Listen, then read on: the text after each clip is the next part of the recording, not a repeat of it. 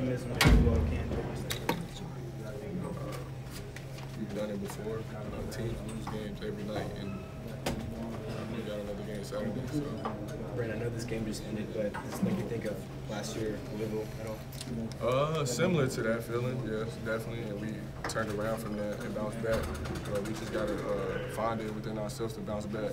I'm not gonna dwell on it forever. We gotta learn from it. Just thinking about that game and how you bounced back from that, uh, help give you some encouragement going forward. Yeah, definitely. I mean, if we go out here and win Saturday, we're gonna be in a way better mood than we are today. But if we lose, we're gonna have the same feeling. So we're gonna try to change it. What impact did Armando going out early on you guys? Oh, it hurt us a lot because just because, like I said, they had two uh, big guys down there, and uh, it shortened our depth on the bench. So when guys got tired, there was less people.